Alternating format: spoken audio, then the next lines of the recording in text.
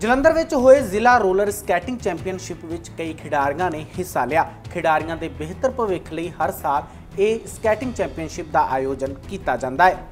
ਇਸ ਚੈਂਪੀਅਨਸ਼ਿਪ ਦੇ ਲਈ ਇਹਨੂੰ ਸੈਂਟ ਹਰਟ ਸਕੂਲ ਦੀ ਹਰਨਾਜ਼ ਕੌਰ ਤੇ ਕਰਮਨ ਕੌਰ ਨੇ 골ਡ ਮੈਡਲ ਤੇ ਸਿਲਵਰ ਮੈਡਲ ਹਾਸਲ ਕੀਤੇ। 5 ਤੋਂ 7 ਸਾਲ ਦੇ ਗਰੁੱਪ ਲਈ ਹਰਨਾਜ਼ ਕੌਰ ਨੂੰ ਇੱਕ 골ਡ ਤੇ ਇੱਕ ਸਿਲਵਰ ਮੈਡਲ ਮਿਲਿਆ, ਜਦਕਿ ਅੰਡਰ 5 ਈਅਰ ਗਰੁੱਪ 'ਚ ਕਰਮਨ ਨੇ ਦੋ 골ਡ ਮੈਡਲ ਹਾਸਲ ਕੀਤੇ।